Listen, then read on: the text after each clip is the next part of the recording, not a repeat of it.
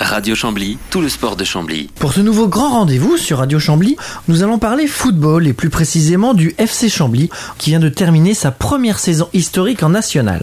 Avec moi au studio pour en parler, quatre invités de marque, les deux frangins du FC, Fulvio Luzi, le président du club, et Bruno, entraîneur de l'équipe première, mais aussi Jean-Michel Rouet, dirigeant du club et jeune retraité de l'équipe 21 et qui a une longue expérience du football.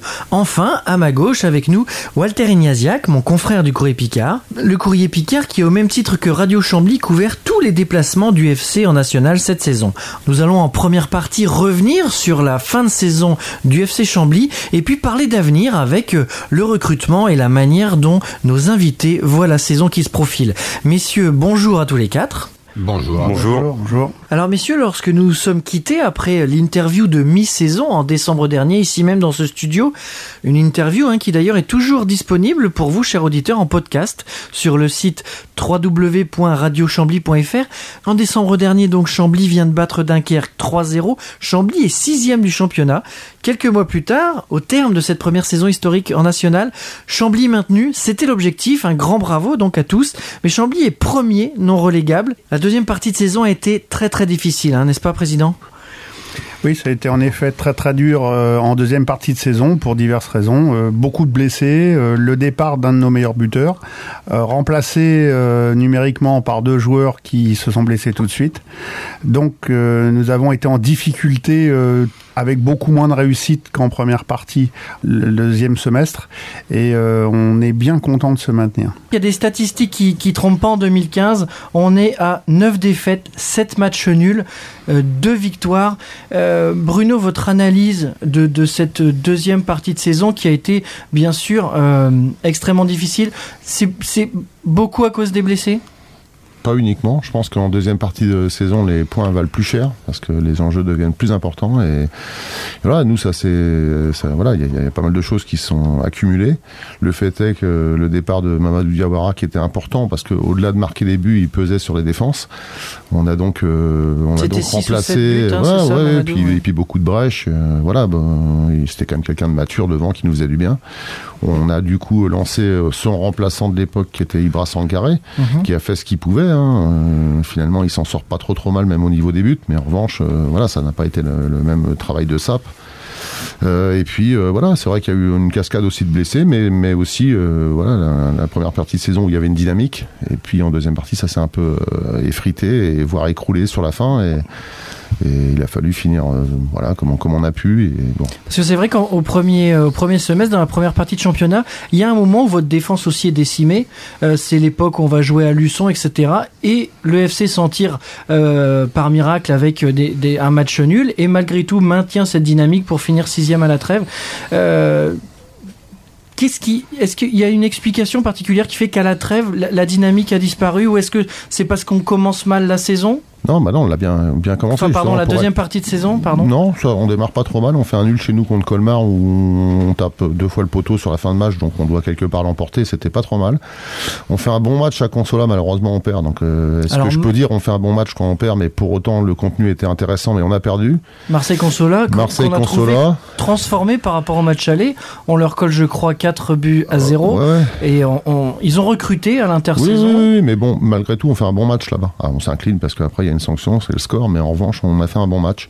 Mais euh, justement, finalement, après coup, on s'est aperçu que ça fait partie justement des, petits signes avant-coureurs euh, bah, qui, qui, montraient que voilà, euh, en deuxième partie de championnat, on peut bien jouer et finalement perdre des matchs. Ça, ça a commencé à se répéter. Et puis après, on a commencé bah, pour certains matchs à perdre, mais en plus en étant vraiment plus du tout dans le coup, et ça a été très compliqué. Voire défensivement, parce qu'offensivement, c'est vrai que la, la, perte de Diawara a été conséquente, mais on marquait moins mais on s'est mis à prendre beaucoup, quoi. Et à partir de là, ça devenait compliqué, quoi. D'accord. Jean-Michel, vous qui avez, euh, euh, qui avez suivi également l'ensemble des matchs, qu'est-ce qui fait que ça change comme ça? Il y a, Mentalement, ça devient trop difficile? Il y a plus de. Est-ce que dans, l'équipe, dans cette équipe, à un moment donné, il n'y avait plus euh, les leaders qu'on avait eus bah Déjà, faut rappeler quand même que c'est une équipe qui était totalement ou quasiment novice à ce niveau-là. très très peu de joueurs avaient joué en national. le gardien, Thomas Opi, qui est encore une, vingtaine de matchs. Bon, Pierre Womé, bien sûr, qui avait de l'expérience, mais en même temps, c'est donc une équipe qui découvrait. En plus, je pense qu'il faut insister, c'est un championnat, moi je trouve extraordinairement difficile. Je vous donner une anecdote. Je me souviens d'une discussion que j'avais eue avec Hervé Delamadure, l'entraîneur de Bourg-Perona. C'est qu'il y a trois ans, Bourg-Perona s'est retrouvé à peu près dans le même cas de figure, avait perdu huit matchs consécutifs euh, en deuxième partie de saison, et donc eux, ils étaient passés dans la trappe avant, avant d'être, euh, avant finalement d'être repêchés. Et regardez où ils en sont aujourd'hui, ils sont en Ligue 2. Donc c'est pour dire que tout ça repose sur des équipes fragiles et que je pense que Chambly à pied aussi, ça a découvert, c'est une expérience, c'était formidable la première partie de saison. Je pense que vraiment, euh, vraiment on a vu, euh, on a vu ce que ce que pouvait faire ce, ce, groupe. Après, pour plein de raisons, mais aussi, je pense que la réussite qui était, qui a parfois été là dans les matchs de, de première partie de saison, on cite assez souvent le match de Strasbourg. Oui, c'est vrai, gagné dans les dernières minutes. Euh, très franchement, je pense pas que c'est le match qu'on méritait le plus de gagner de, de l'année. Mais en même temps, deuxième partie de saison, je vais vous citer Colmar, Bruno vient de le dire, deux tirs sur les poteaux, Fréjus Saint-Raphaël, où franchement on doit, on doit, on doit largement gagner ce match-là, Boulogne, Boulogne en fin de saison mais il y avait plus ce petit ce petit déclic qui y compris arbitral attention euh, je pense qu'on aurait pu sauver des Boulogne ou le où donc on refuse un but à la dernière seconde, on a beau revoir les images, les coutures, on, on voit toujours pas ce que l'arbitre a sifflé. Bon bref, tout ça c'est un petit peu équilibré. Ça c'est bien terminé. Je pense que tout le monde va s'en servir pour euh, vivre une, euh, une deuxième année euh, un petit peu moins angoissante en tous les cas sur la fin. Oui, parce que c'est vrai qu'on le répète et on le répète, c'était une année absolument historique, la première année de, de Chambly en, national et elle se termine vraiment bien. Walter, l'ami du Courrier Picard avec qui on a partagé beaucoup de matchs, notamment à l'extérieur, quel regard vous avez sur, sur cette saison?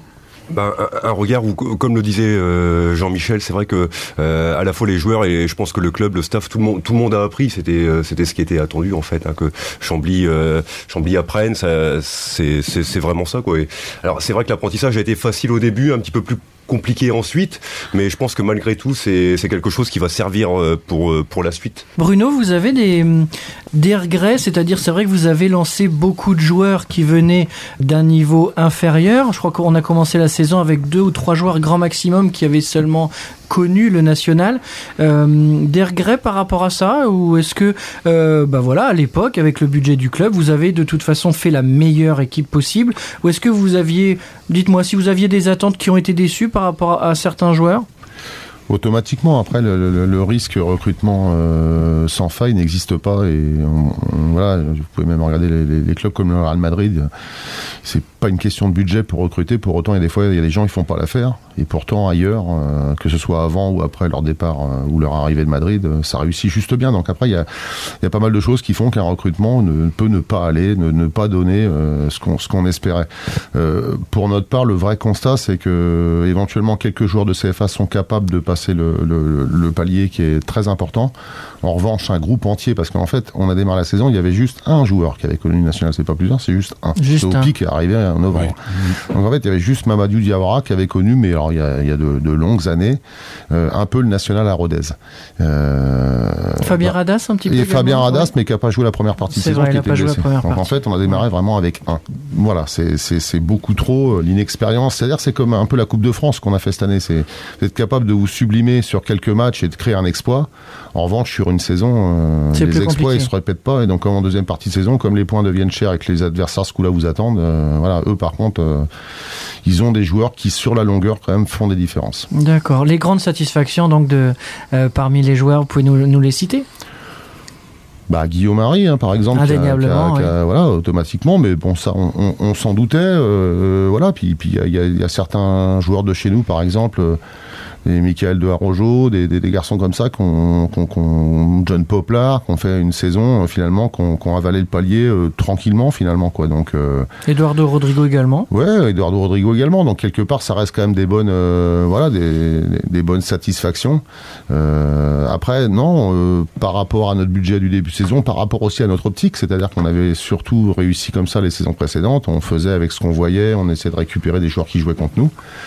En revanche, là, c'est insuffisant. Euh, ça ne passe pas sur une saison au niveau national où il y a vraiment un fossé, c'est-à-dire que le palier CFA2, CFA n'est pas comparable à celui de CFA national. On rentre vraiment dans un autre monde où là, euh, tout est tout est différent. C'est c'est entre guillemets un cimetière pour les petits clubs et on a failli bien s'en apercevoir, euh, même si quelque part on s'en était aperçu en deuxième partie de saison, bien avant la fin, mais quelque part on pouvait plus rien y faire. Il fallait fallait juste essayer de se maintenir. C'est ce qu'on a fait au dernier match.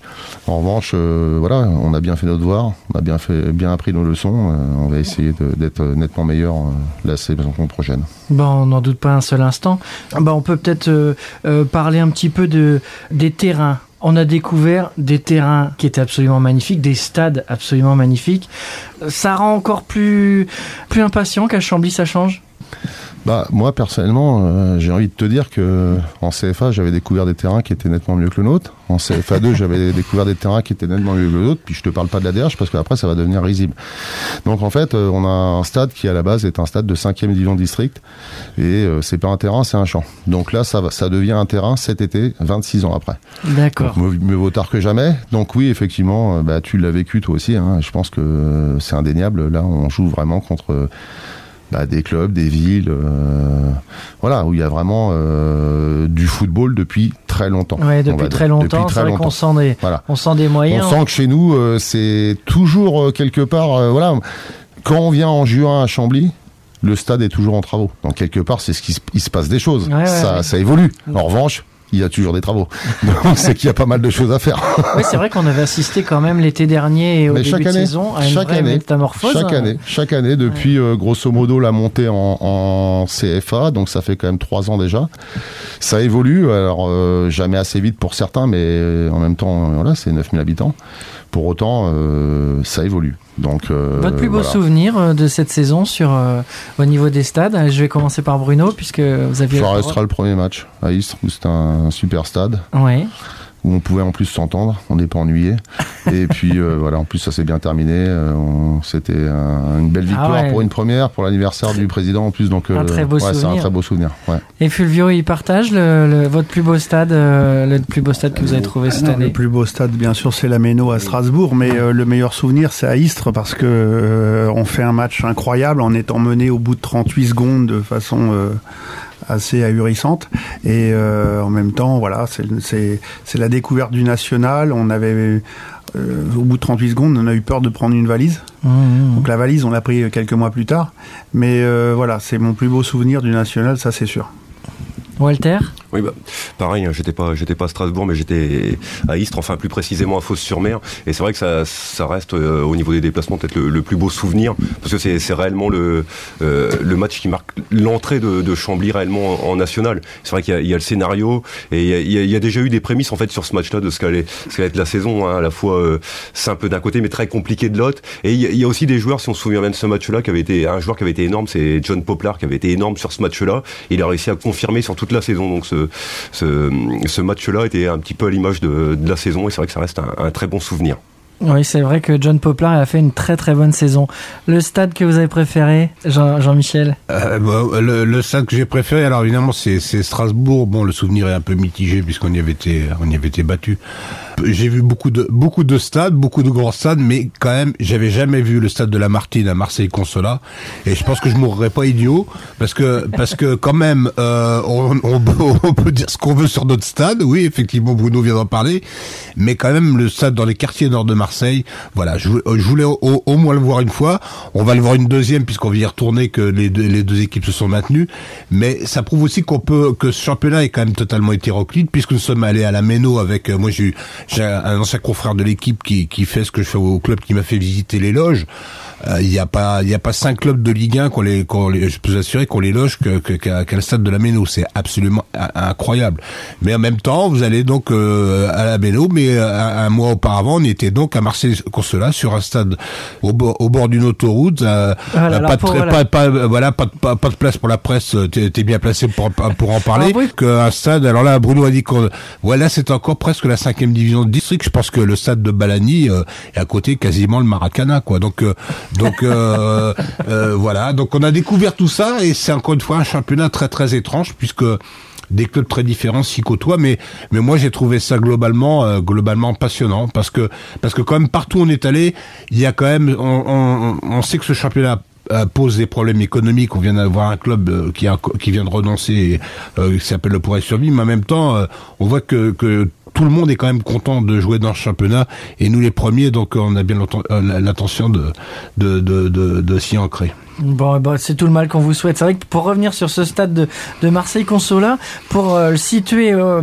et en tout cas pour expliquer euh, ce que disait Jean-Michel à toutes les personnes qui, nous écoutent, c'est un stade qui en fait n'a pas de tribune d'à côté du tout. C'est un espèce d'immense mur et au bord d'une autoroute, de l'autre côté, on a une tribune qui en et plus. pas n'importe quelle autoroute, c'est l'autoroute qui centre de Marseille à l'aéroport. donc euh, voilà, avec du passage. Voilà, avec beaucoup de passages. Voilà, voilà. et euh, une tribune, mais pas couverte. Alors c'est vrai que ce jour-là, pour les journalistes et euh, on avait également un de nos confrères du, du Courrier Picard qui était là ce jour-là, il nous a fallu nous réfugier dans un gymnase qui était attenant à la tribune et on avait une pe petite fenêtre de 20 cm sur 20 pour pouvoir suivre le match et le commenter.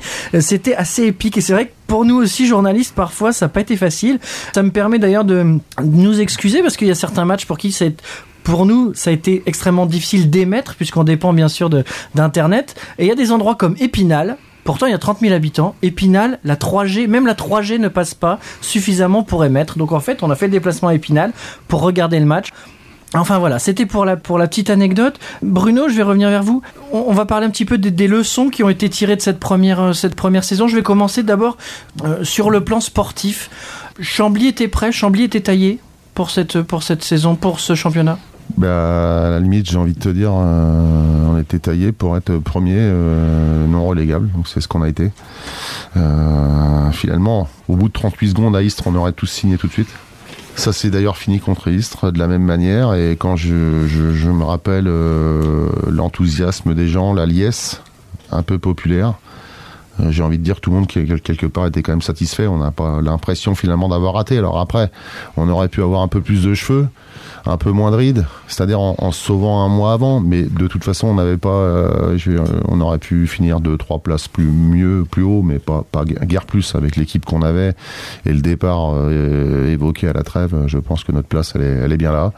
Après, il y a quatre clubs derrière, dont deux qui descendent de Ligue 2 avec des vrais budgets des ouais, vrais stades Bastia, pour certains. Pour autant, ils sont quand même derrière. Épinal était juste champion du groupe Est. il y est passé, donc euh, c'est compliqué. Donc c'est compliqué. Euh, faut se satisfaire de ça parce que après coup, finalement, avec notre effectif de CFA, on a quand même euh, livré quand même une saison courageuse dans l'ensemble, bah, très vrai. courageuse mmh. parce que on se rend compte que tout ce qui avait été arraché comme résultat. Puis euh, tout à l'heure, Jean-Michel évoquait à juste titre le match de Strasbourg gagné chez nous où c'est vrai, on mérite pas. Mais en deuxième partie de saison, on doit mener 2-0 à la, à la pause là-bas. Mais on est mené 1-0 et ça, ça tourne pas pour nous. Ouais. Donc euh, tout s'est inversé, tout s'est inversé. Et après, euh, la qualité euh, des joueurs en face, l'efficacité sur sur 34 matchs a fait voilà a fait la différence et ils ont tous réussi à nous passer devant, à nous vous larguer êtes très loin. Vous êtes dit à un moment donné, on n'y arrivera pas? On l'a tous pensé euh, secrètement. Après, euh, forcément, on se l'interdit de, de, le dire devant le groupe. Mais de, de comment toute ça façon, se passe d'ailleurs par rapport à... Bah voilà, on sent qu'on est dedans et de toute façon, on n'a pas 40 solutions puisqu'en fait, on a fait le fond de tiroir. Tout le monde a été utilisé et de toute façon, ils font pas mieux les uns que les autres puisqu'ils font ce qu'ils peuvent, mais ce n'est pas pour beaucoup des joueurs de ce niveau-là. Donc mmh. c'est compliqué. C'est compliqué. Faut, faut, faut être patient et attendre là où il faudra prendre des points j'ai envie de dire, je pense quand même qu'on s'est maintenu chez nous. C'est-à-dire que chez nous, on n'a pas beaucoup concédé de défaites finalement. Dans l'ensemble, c'est là où on s'est maintenu. À l'extérieur, on a été vraiment, euh, voilà, plus que plus que mauvais. Hein. Euh, chez nous, on n'a pas trop concédé. Euh, on a réussi à prendre quand même en deuxième partie de saison, bah, beaucoup de nuls. Alors c'est vrai, on aurait préféré des victoires, c'était plus le cas en, première partie de saison. Après, euh, on peut s'apercevoir à la lecture que finalement, euh, je pense que le fait d'avoir pris pas mal de nuls chez nous, donc ne pas céder, bah, on maintenait toujours l'écart avec ceux derrière qui ne faisaient guère mieux. Euh, voilà, ça a été, on va dire, notre seul fait d'armes entre guillemets en 2015 où on a été vraiment plus que médiocre. Comment ça se passe avec donc on, je vais également rendre hommage à Florent Routier qui qui profite de ses vacances. Comment ça se passe avec Florent dans le vestiaire, dans des moments euh, qui sont comme ça difficiles humainement avec, euh, avec le groupe? Comment ça se passe? Graflo là-dessus, il n'intervient pas trop. C'est plus lui en, semaine éventuellement, il va avoir des, voilà des, des, discussions avec euh, avec euh, voilà certains joueurs individuellement. Après le week-end, c'est plus mon affaire à moi, mais de toute façon, euh, voilà, faut, faut, envoyer des messages positifs comme quoi on y croit. Mais de toute façon, on y croyait, même si voilà inconsciemment, on est obligé de garder un petit peu en tête qu'il est possible que, que, finalement la fin ça se termine pas bien. Mais on se refusait, on se refusait d'y croire, de s'en persuader. On a toujours on a toujours vraiment positivé comme quoi, de toute façon, même si c'était au dernier match, on s'en sortirait, quoi. Et d'ailleurs, ça a été le cas. Après, euh, c'est très compliqué, euh, effectivement. En plus, c'est des situations, des scénarios qu'on n'avait pas vécu auparavant. Donc là, 2015, ça a été vraiment très dur. Euh, maintenant, voilà, le principal est fait et j'ai juste plus envie de revivre ça. On va parler de la suite de, la préparation de la saison suivante. Fulvio, vous, vous êtes vous êtes vu, vous êtes senti euh, descendre. Vous disiez également euh, ce, que, euh, ce que et je rebondis sur ce que vient de dire Bruno. On n'avait jamais connu ça. Alors on n'avait jamais connu ça, donc on n'a pas été performant puisqu'on l'avait jamais connu. Et en même temps, moi j'ai eu un premier doute après le match contre Consola à l'aller. On gagne 4-0 et ce jour-là, on doit être mené 1 ou 2-0. Je me dis, bon, la saison quand même, à un moment donné, si la réussite tourne, va être difficile. Après, on a enchaîné des bons matchs. À Épinal notamment, où on fait pas un bon match, mais on doit jamais perdre. Vu le nombre d'occasions qu'on a par rapport à eux, on perd. Euh, ensuite, euh, on fait un bon match contre Avranches chez nous, où on a 9 face à face et on termine par un 3-0 chez nous. Donc ces deux matchs-là, c'est charnière parce que si on fait un nul, une victoire, on est dans le coup peut-être jusqu'à la fin. Bon, après, faut pas se leurrer. Comme a, un peu répondu tout à l'heure Bruno, on avait une équipe taillée juste pour le maintien, avec beaucoup de joueurs euh, qui découvraient euh, le national. Euh, certains sont élevés au niveau du national, certains non, mais il faut leur rendre hommage parce que grâce à eux, on est monté de CFA en en national. Et, euh, et rester en national, c'est vrai. Et rester en national, parce que par contre, on, contrairement à, certaines équipes, nous, on n'a pas eu de problème de bagarre sur le terrain. Tous les gars ont donné leur peau. Et euh, à partir de ce moment-là, voilà, on, on, a appris beaucoup cette année. On va essayer de mettre sur le papier une équipe euh, plus costaud pour la saison prochaine et essayer de tirer profit de nos erreurs. Il a pris des cheveux blancs, le président? Il en avait déjà beaucoup, euh, mais il a pris des années, oui, ça c'est sûr. Qu'est-ce que vous avez trouvé le plus difficile au quotidien le, plus difficile au quotidien, c'est de ne pas pouvoir maîtriser quoi que ce soit. Et surtout à la fin, on part quand même à, à Dunkerque avec six blessés sur nos huit défenseurs. Et là, c'est terrible, vous vous dites, bon, bah, qu'est-ce qui se passe On peut, ben, faut souhaiter que les autres ne gagnent pas. Euh, ça s'est produit. On n'a pas fait euh, un très mauvais match d'ailleurs en, première mi-temps euh, à Dunkerque puisque on est au nul et il est mérité. Bon, par contre, on a 20 minutes euh, catastrophiques en début de deuxième mi-temps où et c'est dommage parce que Rosaire qui n'a pas joué souvent cette année Manguélé, s'il ne se blesse pas à Dunkerque, on est vraiment mmh. très très bien en place et on peut leur poser des problèmes. Mais c'est l'histoire de notre seconde partie de saison. C'est avec des si on peut gagner avec des si, on peut faire des nuls.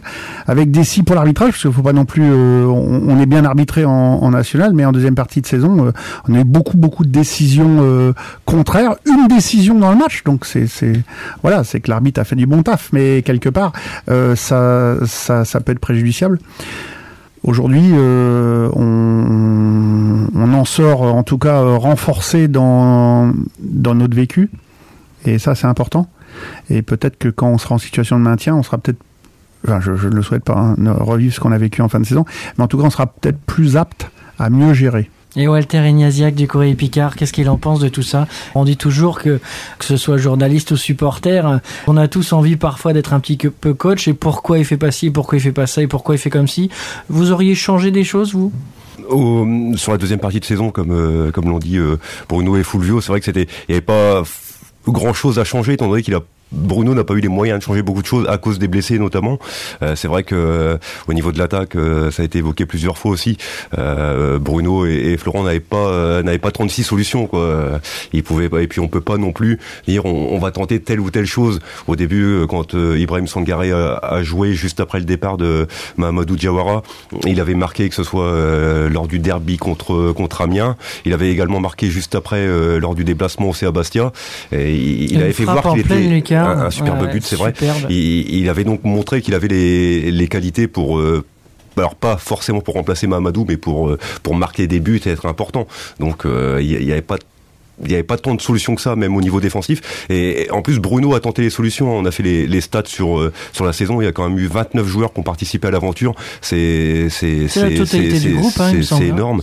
Donc euh, il, pouvait. Je pense que Bruno a, essayé. Après, sur, il y a toujours forcément des, des choses à améliorer.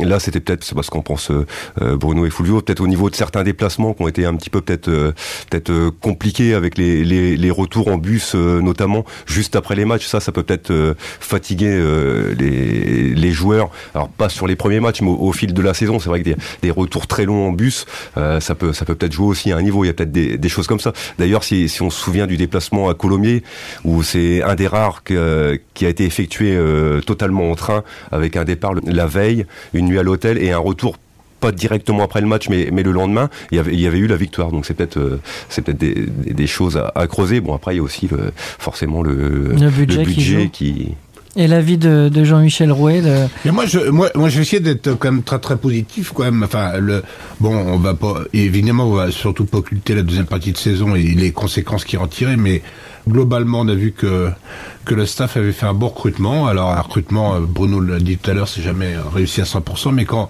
quand vous avez un joueur qui a jamais joué en national et qui vous marque 12 buts, alors que c'est pas un attaquant, c'est quand même une sacrée bonne pioche. Je parle bien sûr de Guillaume Henry.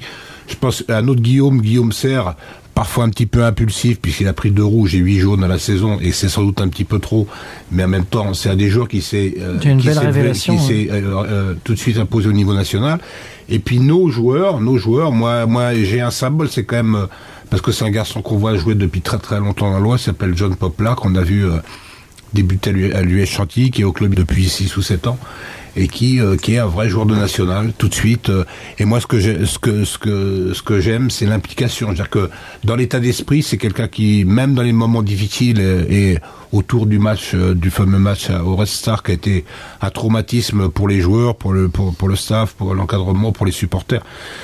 Euh, un joueur comme ça, moi, me semble symboliser quand même l'esprit de Chambly, d'une équipe qui ne renonce pas, euh, qui se qui se hisse à, à, la hauteur de à la hauteur de ces défis.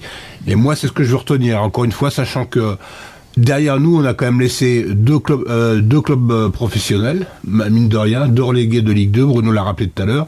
Épinal, champion, champion du groupe B de, de CFA l'année d'avant, et puis Colomiers qui était un club un club installé déjà en national. Donc voilà, à la, à la, fin, je vais vous dire que je préfère retenir le, le, le verre à moitié plein que le verre à moitié vide. Et c'est ce qu'on retient tous, parce qu'en plus on est très heureux, nous également à Radio Chambly, parce que du coup ça nous refait une belle saison de déplacement à vous suivre et à pouvoir faire vivre euh, l'ensemble de la saison, en tout cas les matchs à l'extérieur, euh, aux, supporters.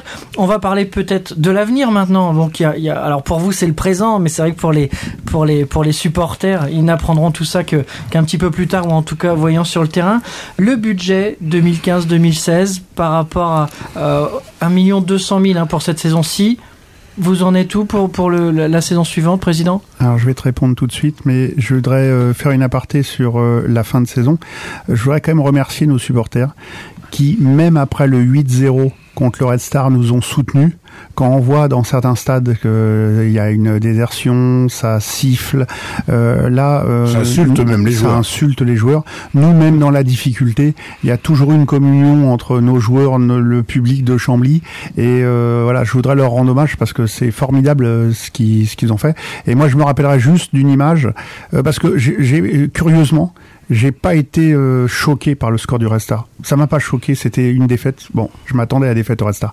Mais je me rappelle des joueurs qui vont serrer la main des 70 spectateurs, qui pleurent pour la plupart, et les spectateurs qui les réconfortent. Et ça, j'ai trouvé ça euh, extraordinaire et ça m'a euh, beaucoup ému. Et voilà, il faut leur rendre hommage. Voilà. C'est vrai qu'ils ont fait pour une partie de nombreux déplacements. Moi, j'ai vu des supporters à Colomiers, c'est quand même à côté de Toulouse. À Luçon aussi. Hein, c'est ça qui est formidable. alors la Vendée, c'est un petit peu plus près, mais c'est vrai qu'ils ah, étaient là. Tous les alors bien sûr, je parle pas de Boulogne, de Dunkerque, des, deux équipes parisiennes qui étaient tout près, mais c'est vrai que.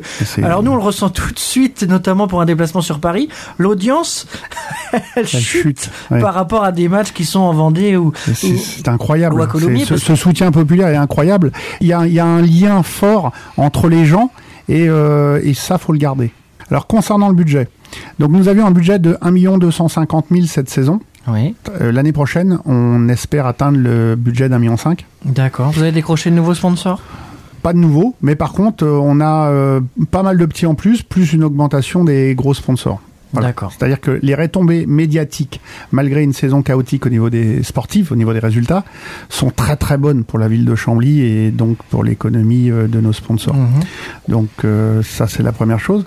Et donc on essaie de bâtir une équipe euh, plus compétitive en ayant un, un groupe restreint afin d'attirer des joueurs euh, meilleurs.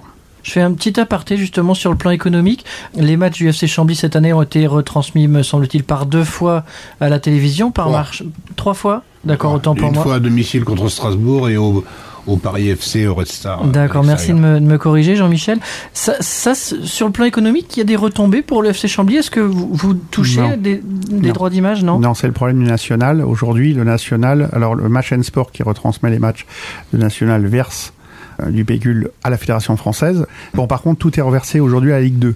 C'est-à-dire que si Chambly monte demain en Ligue 2, euh, nous aurons une subvention de droits télé en- entre 4 millions d'euros et 5 millions d'euros à l'année. D'accord. Voilà. Bon, en national, nous n'a- nous n'avons que nos yeux pour pleurer. Vivement la Ligue 2. Voilà. Ah bah, on- c'est- nous, nous sommes bien d'accord. Nous sommes bien d'accord. Par contre, au niveau économique local, nous avons euh, un, un indice sur Chambly. Lorsqu'il y a des matchs à Chambly, le chiffre d'affaires d'un des plus gros commerçants de la ville augmente de 27%. D'accord. Le jour où il y a un match à Chambly.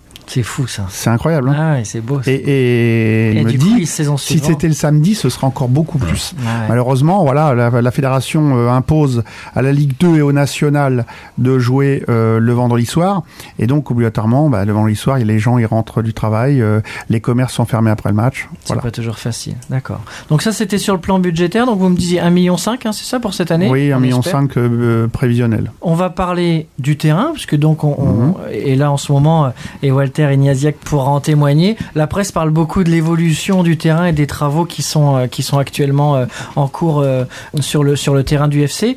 Un drainage du terrain, davantage d'éclairage. Qui qui peut nous éclairer sur l'éclairage? Bon, déjà, la presse parle beaucoup de Chambly.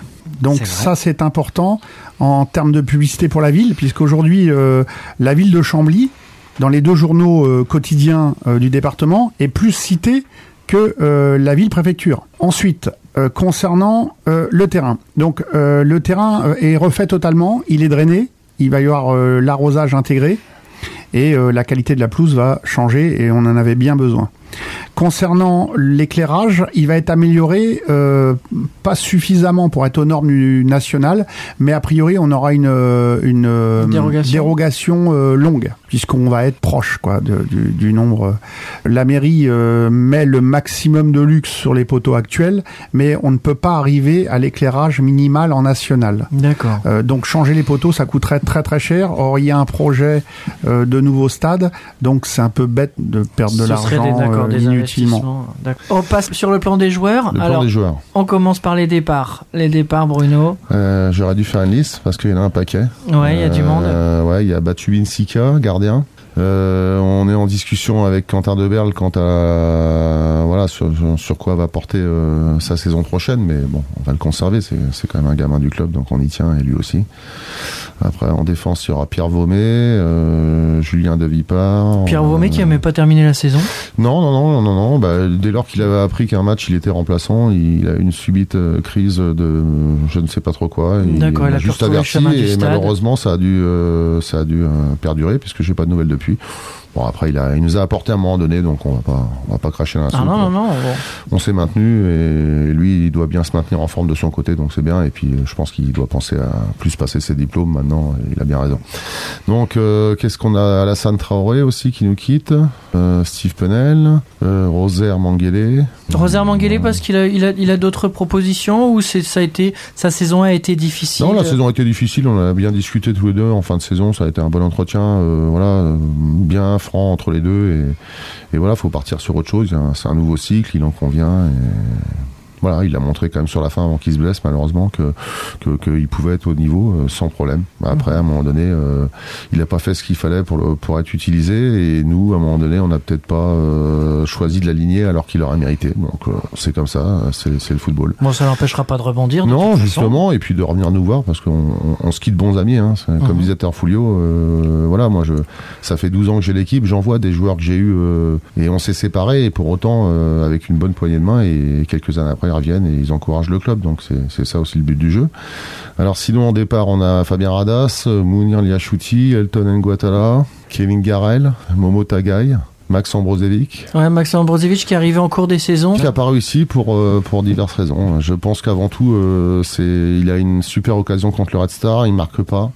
C'est un garçon, comme il me l'avait dit déjà à l'époque, qui n'a pas été habitué à ne pas marquer. Partout où il a joué, il a toujours marqué des buts.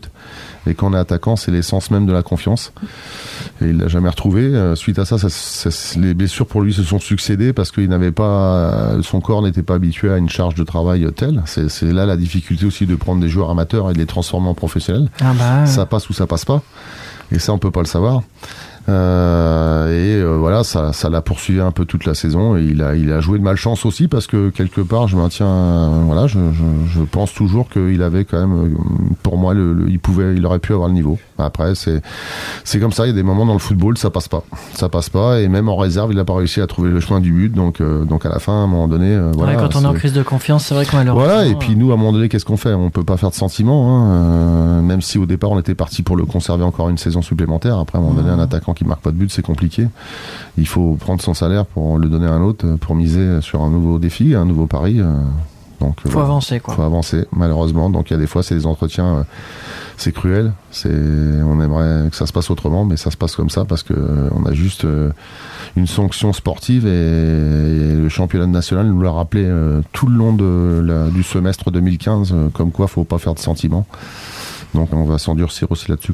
D'accord, on a fait à peu près le tour des départs. À Flo d'Auvergne peut-être aussi également. Florian d'Auvergne, euh, ouais, il a annoncé partant.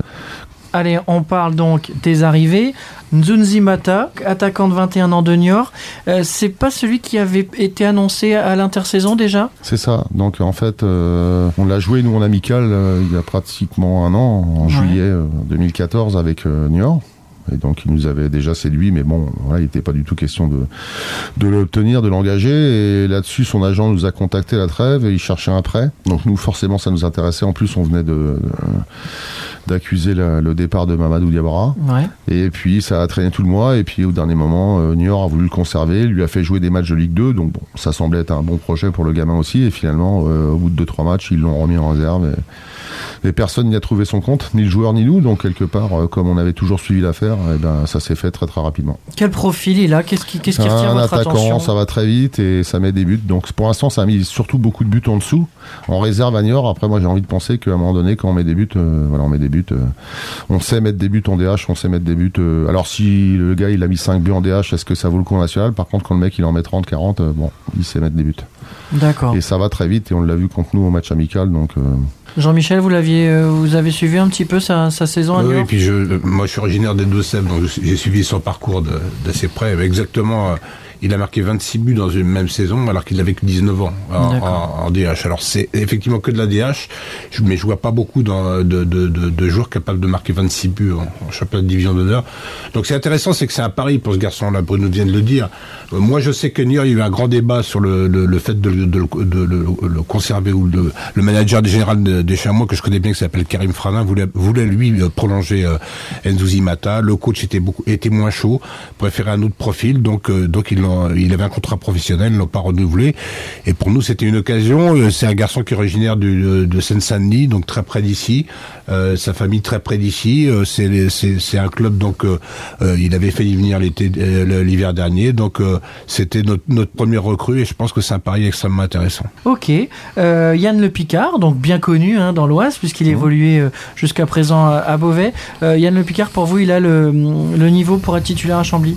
Je pense. En tout cas, il a démontré, euh, il a fait une belle saison. Euh, moi, je suis allé observer euh, pas mal de fois Beauvais.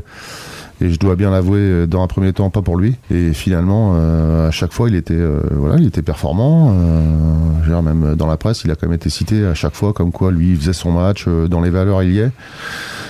Moi, c'est un garçon que j'ai eu euh, très jeune en équipe de l'Oise avec le district. Euh, il a gardé ses qualités de, de battant. De, euh, voilà, c'est quelqu'un qui est dans l'impact euh, et qui, qui, qui correspond bien à l'image euh, aussi euh, les valeurs qu'on défend un peu à Chambly. Donc voilà, c'est important. Et pour le gar- garçon qui était encore en DH il y a deux ans, voilà, c'est juste quelqu'un qui est, qui est hyper motivé de venir et qui va mettre sa reine là-dedans. Ouais, c'est un bon pari, mais, mais je pense que ça peut, ça peut juste bien marcher.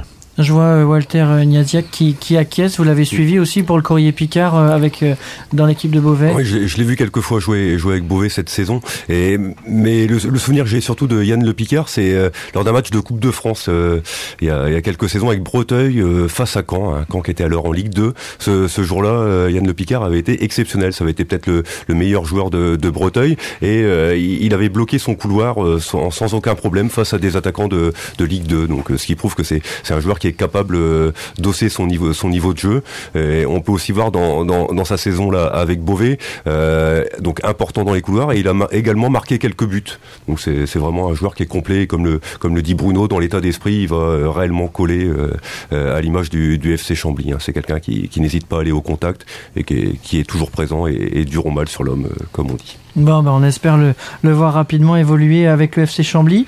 Euh, Youssef Tarati d'Épinal. Touati, Touati. pardon, autant Youssef pour moi. Touati. 26 ans, Épinal. Ouais, donc on le connaissait déjà de par son parcours. hein. Il avait été un peu en Picardie ici à l'Amiens AC, où déjà il, avait fait parler de lui. euh, voilà, c'est un, soliste, hein, c'est un- un- quelqu'un qui, qui, est capable d'éliminer, ouais, pratiquement attaquant, qui est capable d'éliminer, d'amener beaucoup dans la percussion.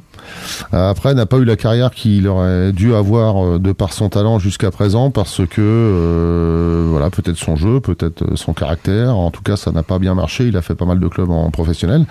Il était encore là, licencié quelque part euh, au FC Tours en Ligue 2. Et donc, il a été prêté Épinal pour cette saison. Et les deux matchs qu'il a fait contre nous, bah, il, s'en est vraiment bien, sorti malheureusement. Et donc, euh, enfin tout du moins à il nous a montré de belles choses. Euh, donc euh, confirmé au match retour où on s'impose, mais quand même quelque part il nous fait beaucoup de mal dans le jeu.